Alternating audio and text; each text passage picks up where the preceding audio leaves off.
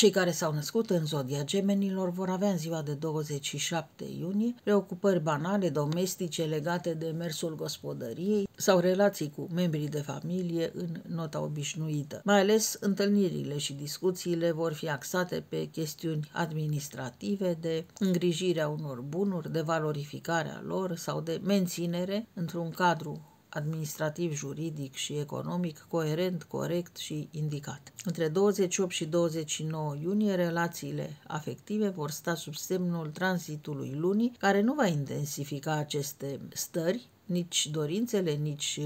Visurile nu vor fi mai intense, mai puternice, mai scânteietoare decât în alte dăți, ba din potrivă vor fi temperate sau compensate prin uh, alte preocupări ca și cum nu ar vrea să se dedice în totalitate respectivei teme, ca și cum nu ar dori să fie subjugați de o relație afectivă, ca și cum nu ar dori să li se închidă orizontul și să se mărginească în existența lor doar la acea preocupare. Vor și altceva, vor o viață bogată pe multiple planuri. Unii vor dori să se distreze și în numele lor, fără persoana dragă alături. Un soi de independență, de libertate, de mișcare, de autonomie, sau poate chiar de lecție de viață să-i dovedească aceluia că fiecare are dreptul la un univers, la un teritoriu personal intangibil de viață, decizie și satisfacție pe cont propriu, de unul singur, sau în condiții care numai lui dau satisfacție, nu neapărat și celuilalt. Este un moment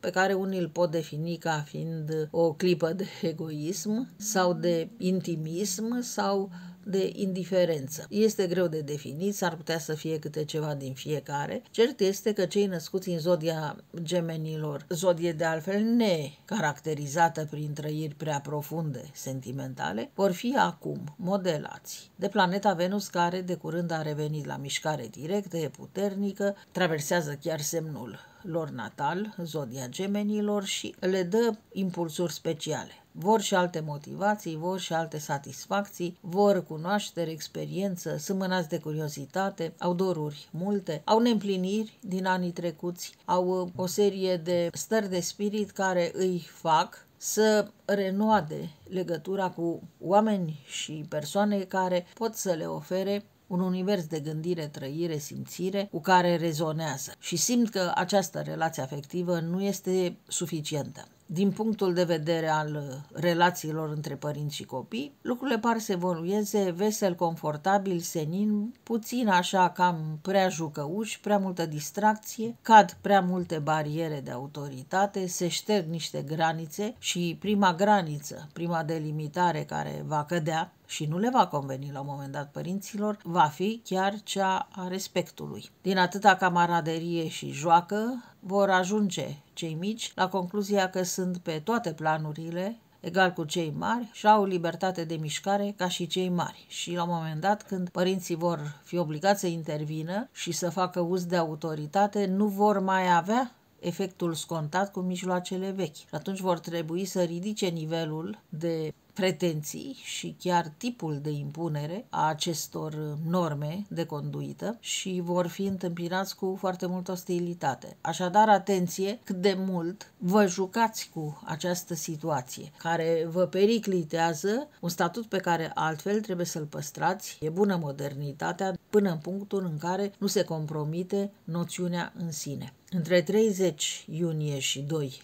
iulie în zorii zilei, Axa celor două case ale sănătății este discret solicitată pe segmentul endocrin în principal, apoi pentru femei pe zona aparatului genital și pentru bărbați pe segmentul aparatului renal și urinar. Nu este vorba neapărat de disfuncții și de boli, dar s-ar putea să fie niște mici tulburări care să indice faptul că undeva în organism s-a petrecut ceva. În principal este vorba de hipofuncție sau de tulburări de moment care se reglează cu o medicație pe care, în cea mai mare parte, nativii o știu, o cunosc, la care au mai apelat. La locul de muncă, situații stringente, ipostaze care fie nemulțumesc, dar nota generală e mai puțin de nemulțumire. Asta ar fi să zicem pe locul 2. Pe locul întâi este spaima de viitor, dublată de un soi de tăcere prudentă, de inhibiție, ba chiar și de frică de a se pronunța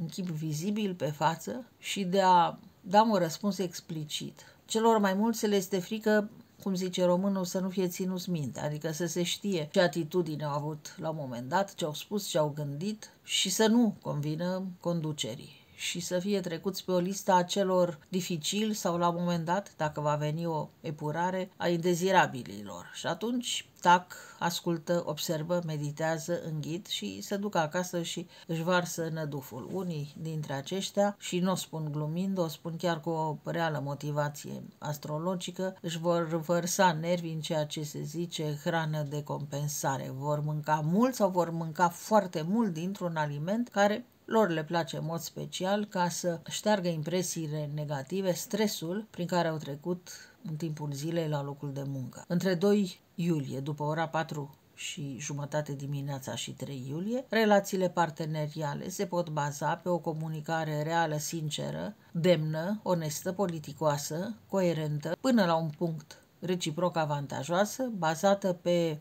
acte, documente, dovezi, contracte și cu o referire clară la legislație. Nici gemeni într-un astfel de dialog nu vor veni cu mâna goală, vor veni cu multă disponibilitate pentru înțelegere, pentru împăcare, vor veni cu puncte de vedere interesante și constructive, cu multă disponibilitate pentru a înțelege nevoile sau condițiile impuse de partea adversă, să-i spunem până la un punct, chiar dacă nu e vorba de un conflict. Vor fi niște persoane în timpul dialogului, destinse, glumețe, detașate de tema în sine, vor vorbi și se vor purta fără crispare, fără resentimente și cu destul de multă superioritate. Chiar dacă, în unele cazuri, tot ceea ce am spus eu este un mic joc, este o ipostază așa, ca la teatru se pun în pielea unui personaj care cam așa ar trebui să simtă, să creadă și să reacționeze. Chiar dacă în sufletul lor există nemulțumire,